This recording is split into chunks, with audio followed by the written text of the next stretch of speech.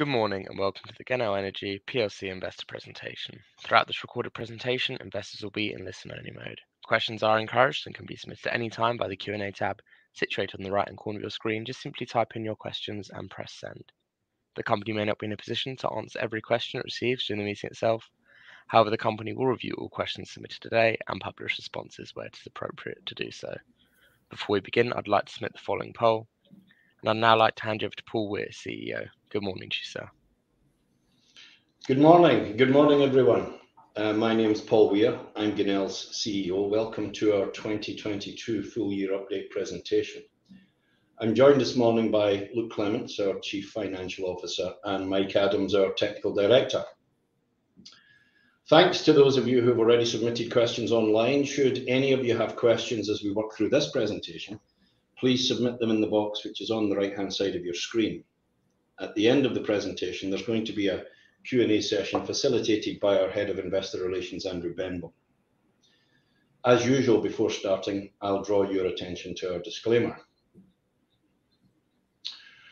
Okay, onto the first slide. Um, in a few minutes, we're going to take a brief look back at our business in Kurdistan and how it has delivered material cash for Genel and for Kurdistan. I'll also make mention of some of our important ESG work there. The following slides will then cover three aspects of our business that will provide you with a simple frame through which to think about our business.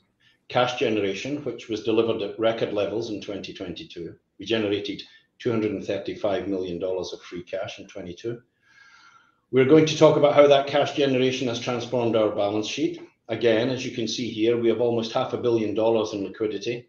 We've been very clear, and we'll say it again today, we want to use that cash to add new production assets to our portfolio, being certain that this is the best way to deliver value for shareholders. Finally, and related to that balance sheet, we'll talk about what informs our capital allocation decisions. Since becoming CEO in October last year, we've sought to simplify our focus and our message. We've centered our business model around our dividend program. This is a crucial component of investor returns, and Luke will be talking about our dividend, and it's a very attractive 12% yield in a few minutes. So, Genel in Kurdistan, our cash generation continues to be supported by robust production from the Tawke license in KRI. We've been in Kurdistan for more than 20 years, and during that time, we've consistently demonstrated our commitment to being a responsible partner. And we've committed to a very extensive ESG program throughout that time. We have also aimed to be a responsible partner in the energy transition. We believe that those assets fit for the future are those that are low cost, low carbon, and those that can make a material difference to society. And our Tawke license does all of that. The boxes on the right-hand side of this slide give a good indication of our commitment to Kurdistan, what we've done in our time there. As mentioned, we've just celebrated 20 years in Kurdistan, and the highlight of those celebrations was the launch of our Genel20 Scholars Program in November last year. Under Genel20, we committed to fund 20 young, talented Kurdish students to be educated and supported at the outstanding American University at Duhok in Kurdistan. We've been delighted by the wholehearted support, encouragement, and commitment that the program has received, not just from the students, but from the MNR, the wider KRG, and from the Prime Minister too. We're excited by what these scholars may one day achieve. In our 20 years in Kurdistan, our production assets have generated more than $20 billion of revenue for Kurdistan and almost $2 billion of free cash flow for our shareholders. And our production assets continue to fund our dividend program. Luke's now gonna take you through the three business aspects I mentioned at the start, cash generation, balance sheet, and dividend. Over to you, Luke. Thank you, Paul. Good morning, everybody, and thank you for making time to listen to our update. 2022 was a year of record cash generation for us. The chart on the left shows this year's cash flow compared to previous years. It's nearly tripled the year before, as high oil price, consistent production, and recovery of old debts have combined for our production business to generate over $300 million of free cash flow. After corporate costs and investment in appraisal and exploration, which was mainly at Sarta, this resulted in overall free cash flow of $235 million. Not all of the line items from 2022 repeat in 2023. You can see on the right, I've highlighted the override and deferred receivables. We don't expect to receive any more in relation to these items. I've also highlighted pre-production CapEx, which we expect to reduce by about half in 2023 with our focus this year on Somaliland, whereas last year the focus was on Sarta. In terms of pricing for sales, you'll have seen we're now being paid using a new KRG pricing formula effective from September 2022. We gave quite a lot of information about this when we announced it a few weeks ago, but it does vary. The impact does vary. So for September, the impact on our working interest production cash generation was about $2 a barrel. And the latest data that I have for February shows that the impact has now reduced to just over $1 per barrel. So based on that one to two dollar per barrel range and our circa 10 million barrels of working interest production, the impact on cash flow would be between $10 million-$20 million adverse. Finally, just thinking about payments for 2023, important to note that um, 2022 cash generation included only 10 months of payments, and we expect at least 12 months in 2023. And We also hope to see progress on the two overdue payments, which at the start of the year totaled $64 million in value. So if you put all that together, plenty of outlook cash flow generation for 2023 and beyond to cover our dividend for the next few years. So what's that cash flow done to our balance sheet? Well, as Paul said earlier, it's transformed it. Our liquidity has increased from just over $300 million at the end of 21 to just under $500 million now. Our net cash is now $220 million with no debt maturity until October 2025. Maintaining an appropriate balance sheet has been a focus of the business for the past few years, and we will continue to manage the balance sheet appropriately and commensurate to the risk that we see ahead. It's clear that at the moment we carry too much cash, and we've been very clear that we intend to use that cash to acquire new assets. We are really looking to replace the 2022 cash generation line items that I referred to earlier as not repeating. I'm now gonna talk a little bit about the lens that we use to assess our internal and external opportunities for investment, and that lens is the funding of our well-established dividend program. We commenced that dividend program in 2019 and set out for it to have three key characteristics. It would be material, sustainable, and progressive. What does that mean? Material means it's competitive on an ordinary dividend yield basis with other opportunities that are available to investors. Our ordinary dividend has been consistently competitive. Sustainable means it is repeatable and should not go down. The prior year dividend should set the minimum dividend expectation for the next year. And you can see from the chart we maintained our dividend in 2020 despite a low oil price in COVID when others stopped theirs. So far, our program has paid out $177 million in dividends, very material relative to our market capitalization. And the final aspect is progressive. This means that it should increase over time. So as the repeatable cash generation of the business grows, the dividend also increases behind it. And again, you can see from the chart that our dividend is now at 50 million per annum, a 20% increase on where we started in 2019. The dividend program is the lens we use for assessing capital activity and informing our investment decisions. And now Paul is going to talk about where that lens puts our focus for 2023. Thanks, Luke. Um, from this slide, I hope you can see how the financial framework that Luke has outlined is going to support our principal areas of focus for 2023, all aimed at building a better business. And there's three of those too. In 2023, we shall firstly maximize free cash flow from our production business by continuing to be fully engaged with our operating partner and making smart investment decisions to support our excellent operation at Tawke. Secondly, progress towards an exploration well in Somaliland. Our project team's in place, and it's pursuing a well-defined and properly resourced project execution plan. And thirdly, and most importantly, investing our cash to add new assets to our production portfolio. Again, in our most recent updates and presentations, we've made mention of the formation of a highly skilled and dedicated team that continues to screen and evaluate suitable opportunities. So in the slides that follow, I'll give you a little color on these three key areas of focus in the year ahead. Our focus begins with our own production portfolio, dominated by our 25% interest in the exceptional Tawke PSC, which holds the Tawke and Peshkabir fields and is operated by our friends at DNO. Tawke has delivered safe, consistent, and predictable production, with the past two years in particular benefiting from a very active drilling program.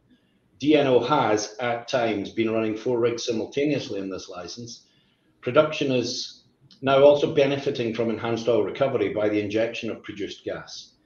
That investment started a few years ago. The Tawke PSC was the first license in Kurdistan to have a gas management system in place. That system is now reducing emissions and enhancing oil recovery. And you can see from this bar chart how performance over the last five years, even through the COVID downturn, has been consistent with a very low overall decline. The other point worth noting in this slide is the very low OpEx and low well costs, which are down towards world-class levels. Put this together with the mechanics of PSC economics, and you have a framework where the cost of activity will almost never deter activity itself. So the contractor group can continue to be very active in this asset in order to maximize and accelerate the production of reserves. Taq Taq and Sarta are relatively minor contributors these days, and on these fields, we're only going to invest more if we are confident of a return. Our production is expected to be in the range of 27,000 to 29,000 barrels a day on average in 2023, with the resulting cash generation covering our dividend. Next slide, please. Um, our second area of focus is progressing our effort towards drilling a Somaliland exploration well in 2024. Now, we've been on this license for more than 10 years. We've always liked the potential. This is a very underexplored basin, and this opportunity offers remarkable potential and scale. But we recognize the uncertainty associated with frontier exploration. You can see from this picture that the well site's a little off the beaten track. And because of that, we've been patient and waited to build the appropriate partnership to take the work forward. For Somaliland, this meant farming out first, reducing our equity and our exposure to cost, and to secure funding for the well. We are now in a position to drill the well at a cost that we believe is appropriate for the uncertainty and potential scale of this opportunity. And work continues with preparatory civil engineering started and tendering for equipment and services well underway. We've also recently launched a farm out process for Morocco as we seek to progress de-risking that opportunity too. The offshore Lagzira license is another exciting opportunity where oil has been seen when drilling on the license in the past. There's no exploration commitment there, but again, we aim to build the right partnership to take this exciting opportunity forward. And on to our final and arguably our most important priority, adding new assets to the portfolio. As Luke and I have both mentioned, we use the lens of supporting our dividend program to assess new asset opportunities. So I'll give you an indication of what that means. Our first consideration is to extend line of sight and resilience of our established dividend. Luke used the terms you see here: material, sustainable, and progressive. To do this, we're looking for assets that are producing or close to producing and will continue to contribute in the longer term. Then, in addition to improving returns, we want to strengthen the business and manage risk by diversification. This means we're looking for new low-cost assets with relatively low break-even, which are likely onshore or conventional shallow water offshore and are suitably de-risked and cash generative. It's not hard to understand how investing some of our cash to acquire cash-generating production of this type can transform our business. The cash we have to hand gives us a great opportunity to do just that. We have a very competent and dedicated team and a strict and thoughtful process, and we are confident that we will deliver the right outcome for Genel shareholders. In summary then, here's a reminder of where we are and what lies ahead. Maximizing cash generation from our existing business, a strong balance sheet and significant cash balance, a committed dividend program funded by existing production, an aim to invest our cash in new assets with the investment choice driven by the beneficial effect on our dividend program, and of course, exciting exploration in Somaliland with Morocco a bit further down the line. So we look forward to updating you on our progress in what promises to be a very exciting year for Genel. I'll stop now and hand over for any questions that you may have. Thank you all very much. Andrew, over to you. Thank you very much, Paul. Thank you, Luke. Um, first question that we've received, I had a few come in as you'd expect. First question, as is always often the case, is about politics in Kurdistan. Uh, that question being that they've seen reports of the recent budget agreement between Baghdad and Erbil. Um, what impact do you expect that to have on Genel? Um, I think as a general rule, sorry, I'll take this one. Yeah. So as a general rule, um, if relationships between the federal government and the regional government business is good, and if those relationships deteriorate, then that's bad for business. And, and those of you that follow Iraqi politics will know that there is always a, a high degree of uncertainty and un, unpredictability. But we study we study this dynamic very closely. We talk routinely with people who are close to the action, consular staff, other advisory people who are helping to mediate and facilitate an agreement between these two groups. And we're of the view that there is a genuine effort to bridge the gap for a rapprochement between the federal government and the regional government and you know agreeing the budget and uh, establishing um, and establishing uh, what seems to be a fairly firm agreement between the Kurds and the rest of Iraq around um, oil for money is a positive sign and can only be good for us. Um, I will finish with the point that I made at the beginning, which is there's always a degree of uncertainty and unpredictability, but we are confident that there is a there has been a, a, a determined and very positive step forward by both sides of that particular dynamic towards each other. Thank you, Paul. Uh, the next question is one about payments. Uh, you, we, Genel only announced Tawke payments for September, as well like clarification as to whether others have now been received.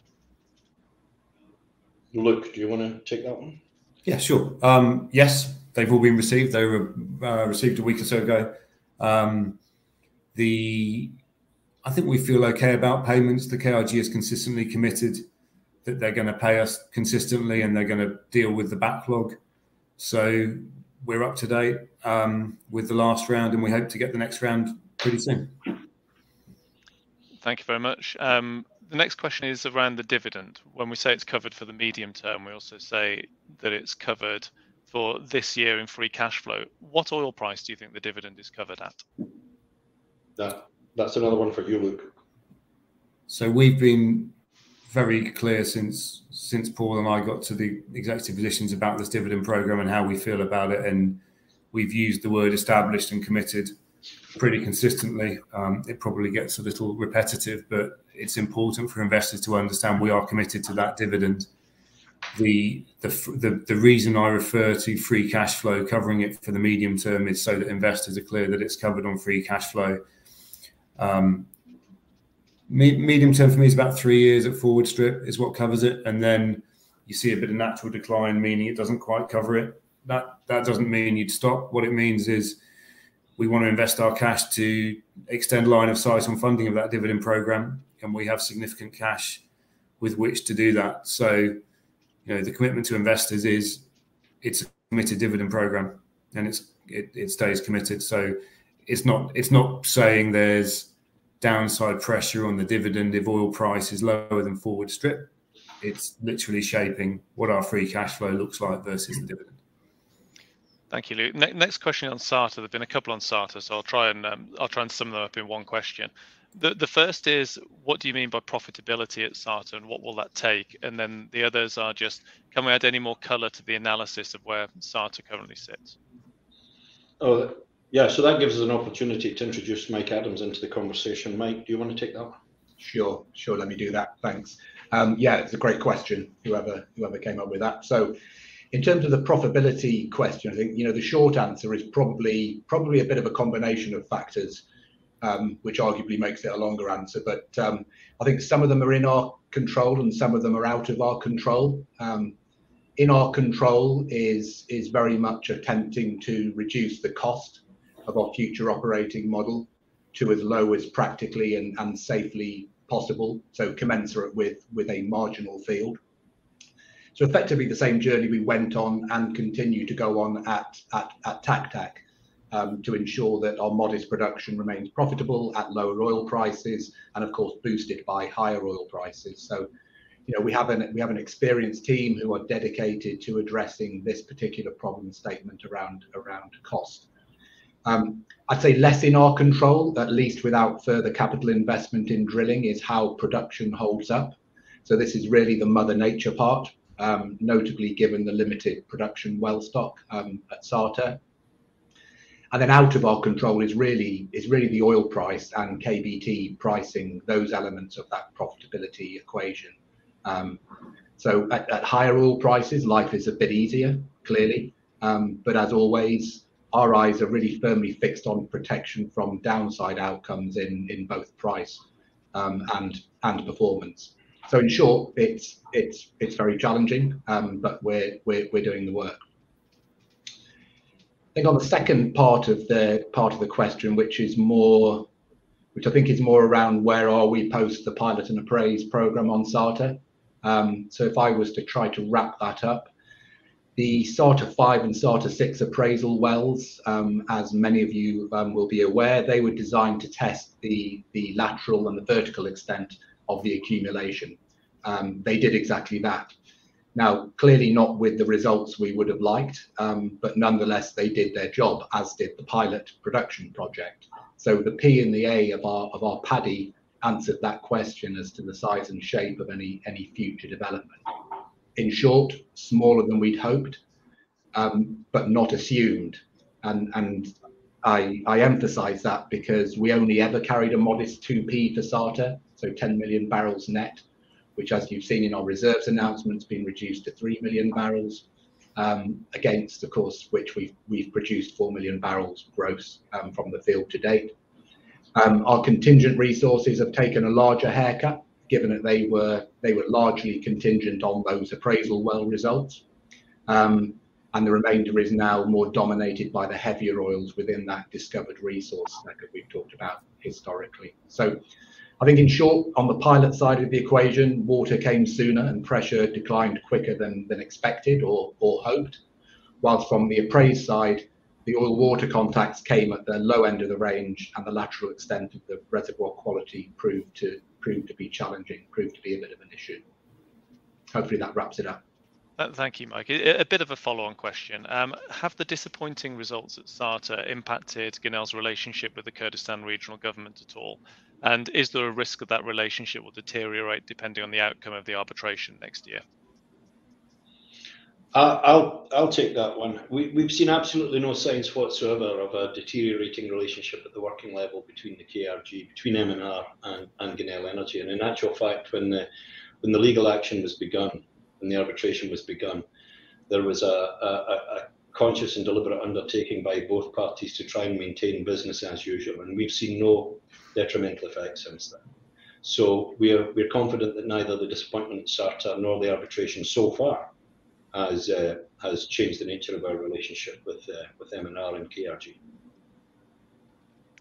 And on the arbitration point, um, someone's asked a question saying that regarding the arbitration, does that mean the Miran field? I think I'll answer that one. That's relating to the Miran and Bina Bawi fields that were that were held by Genel. Similarly, there's another question I'll very briefly answer, which is regarding receipts from the KRG.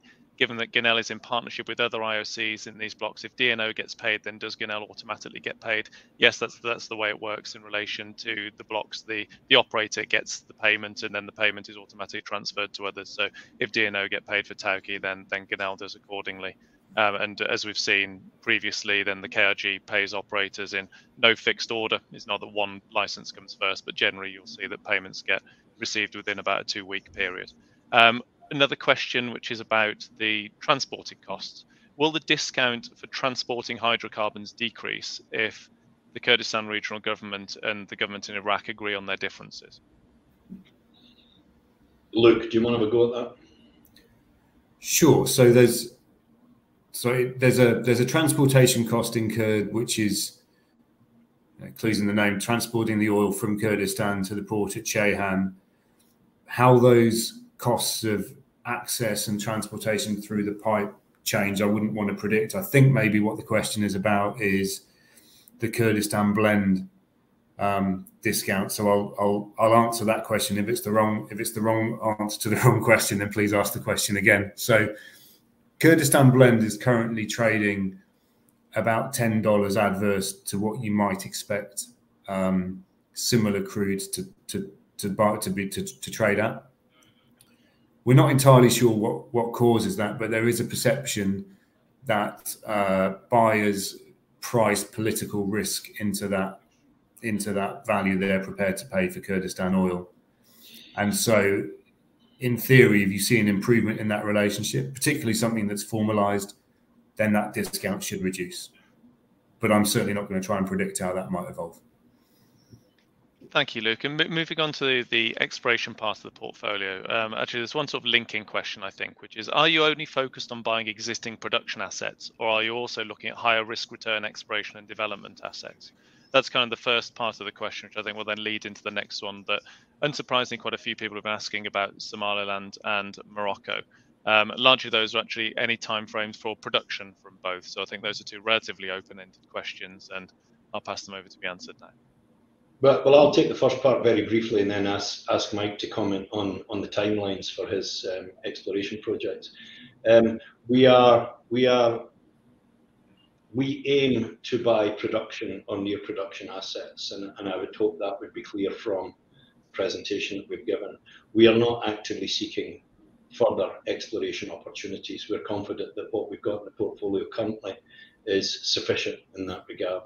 As far as the timeline for both Somaliland and Morocco, I'll invite Mike to make some comments on that. Yeah, I mean, um, let me let me let me maybe start with with let me start with Somaliland. So um, clearly, I think you know we've spoken this morning about our our immediate timeline towards towards drilling a well. Um, so that's looking like um, looking like the the first half of next year. We're making great progress towards that Um, in terms of physical boots on the ground activity. Um, that has involved things like the geotechnical survey in support of future the the future civil works. That has also included our environmental and social impact assessment. So we've completed the fieldwork um, around that piece. And and we're currently actually undertaking a survey which is which is um, looking to identify the the depth of, of water aquifers. Um, so this is effectively saline water, so not not um, drinkable water, water that we can use in support of the in support of the drilling operation. Um, so those are the kind of boots on the ground bits of progress. We're also in the in the process of tendering across across the full spectrum of of contracts and procurement space. So all of that that's required for an exploration well, that's that's ongoing right now. Um, if we were successful to kind of move to the other bookend of the question, if we were successful, um, then of course, you know that well is only just the start. Oil production doesn't doesn't start immediately, more's the pity. Um, it requires a lot of further work, further capital investment, and and and infrastructure. But I guess as the old saying as the old saying goes, Rome wasn't built in a day. So the well is, in, inshallah, the start of the start of something there. And then in Morocco, just to kind of move on to Morocco then, um, so the Lagzira block in Morocco, for some of some of you perhaps be more familiar with that under its previous name, um, Sidi Moussa, um, highly prospective. Again, but again, like Somaliland demands, we get that that balance right in terms of in terms of our expenditure on a on a risk and reward basis. So so what we what we're looking to do here is replicate that Somaliland farm-out success, which I think itself is is testament to the quality of our of our exploration acreage um, through an ongoing farm-out campaign um, in Morocco. So that that's that's ongoing That's ongoing right now. Thank you, Mike. While while we're on Somaliland and Morocco, somebody else has asked questions about surface seepages, which have been found across Somaliland, asking if any have been found in the Odewayne license as well. Yes, they yeah, they have. And I think that's probably a question which is referenced to some um, to some some news flow around the end of around the end of last year.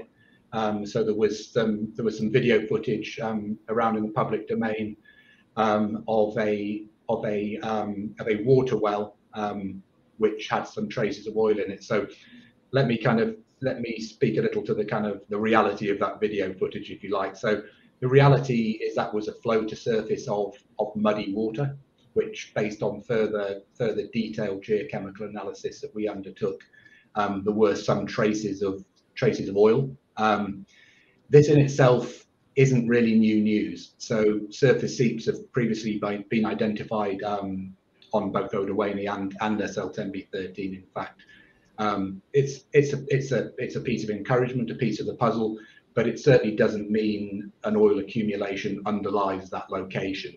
Hydrocarbons can migrate large distances through very tortuous subsurface um, pathways prior to prior to seeing daylight um, at surface. But you know, that said, you know, this latest occurrence is it's sufficient for us to focus our our Odewayne 2023 work program on an attempt attempt to resample that fluid, either at or, or, or near to the original location, um, given the given the original water well was a was a Somaliland government um, water well. Thank you, Mike. Um, changing tack again and moving back towards towards cash um, and our finances. How is risk managed on our 500 million cash pile? Is it held in deposits, and where is it? Um, and not really related, but asked by the same person. And at what price levels would you consider share buybacks? No, that treasuries and buybacks is certainly your territory, Luke.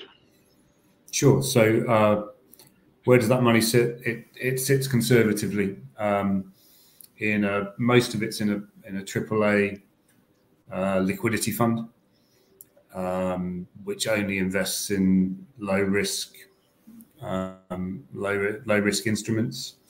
Uh, some of it is in um, term deposit with a couple of very big banks with good credit ratings. So conservatively, and we keep we keep that under watch, and we're very careful about where we put our cash. Second question was on buybacks. Uh, we, we've had this question before. So, in in my view, in, what we're trying to do is we're trying to change the investment outlook, the investment case for this business. We're trying to improve the returns, and the, and the dividend is a big part of that for the long term, so investors can see a consistent, appropriate return for the risk that they see in our business. So, the way we have set out to do that is by adding new assets that support that dividend program and deliver material cash generation in a transformational kind of way which, if it diversifies our risk appropriately, will re-rate the valuation of our Kurdistan business and, and benefit all of our shareholders. Buying back shares, in my view, um, can transform the investment case of a business if you do it in a very material way. And when I say very material, I think the number I've given before is kind of 25 or 30% of your market cap because it reduces the size of your business and the returns stay the same. So you've got the same returns on a lower cost of investment in, in very in very simple terms. What doesn't doesn't, in my view, change the investment case for your business is low level buyback of shares because mathematically it turns it, it, it kind of creates some increase on share price. It doesn't change the investment case. So as we sit here today, we've been very clear the focus of our cash is on adding new assets. It hasn't been buy bond buybacks and it hasn't been share buybacks. We bought back some bonds at a pretty pretty um, good price, but in low levels, about six million um, last year. We we felt holding on to our cash was the smart thing to do. And if you look what interest rates have done in capital availability in the last six seven months, that looks quite sensible. Our our net interest cost on our um, on our position is low now, around around ten per annum if you take the cash and the bonds. So it's not burning it's not burning cash on a monthly basis. So we will we'll keep our cash and we'll try and we'll try and use it to add new assets and deliver the kind of business that we're trying to build.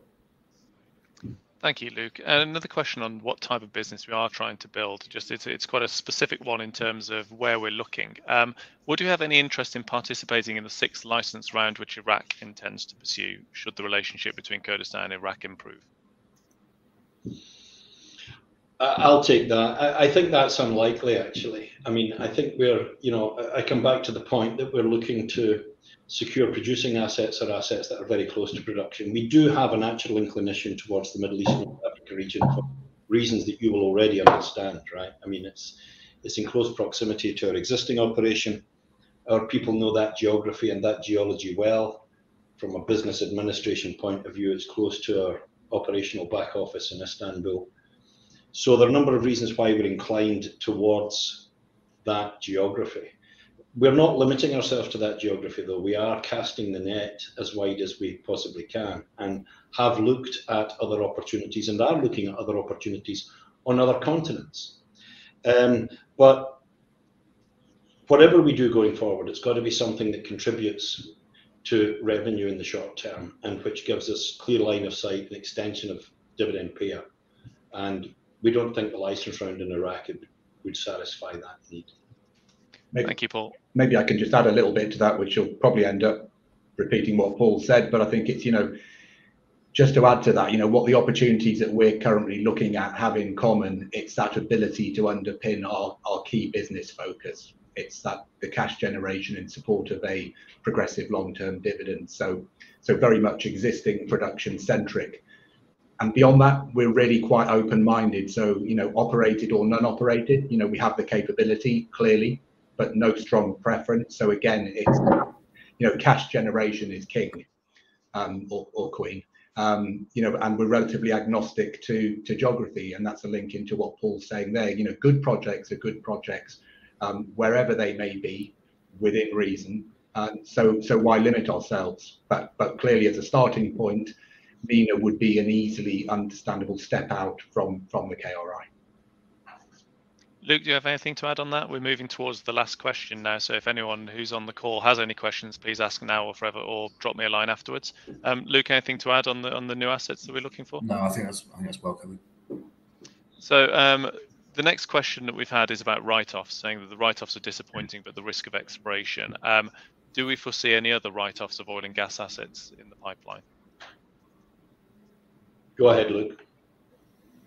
So the, the main oil and gas asset left on our balance sheet is is Tawke, and Paul talked about Tawke pretty clearly earlier. It's a it's a high quality, resilient asset with predictable production.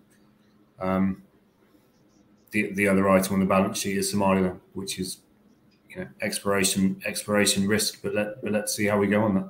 I mean, we're we're we're excited about it. Otherwise, we wouldn't be risking capital on it. So we see the risk and reward as being the right the right ratio. Right, and with that, there are no further questions. So before I hand over to Paul for some closing remarks, I'd just like to say once again, thank you everyone for joining this call. Uh, with something that we're going to do at least quarterly around trading updates, you can expect myself and Luke to do calls. Hopefully, we'll have some other um, other times during the year. We might do more impromptu ones as well because we want to keep investors as up to date as possible. Should you always have any questions, however, please don't feel you need to wait for this forum. We're very responsive. We'll always answer any questions that shareholders may have however small or large those questions may be, please do drop us a line. Um, and with that said, over to Paul for some closing remarks. Thanks, Andrew. I mean, I, have got very little to add other than to add my own personal vote of thanks to all of you for um, attending this morning and for your ongoing support. Um, 2023 is shaping up to be a very exciting year for Genel. Um, we're excited by it. We hope you are too. And, uh, and we look forward to talking to you more later in the year. Thank you very much. Paul, Luke, Mike, Andrew, thank you very much for updating investors today. Could I please ask investors not to close the session as you'll now be automatically redirected to provide your feedback in order that the management team can better understand your views and expectations. This will only take a few moments to complete, but I'm sure will be greatly valued by the company. On behalf of the management team of Genel Energy PLC, we'd like to thank you for attending today's presentation and good morning to you all.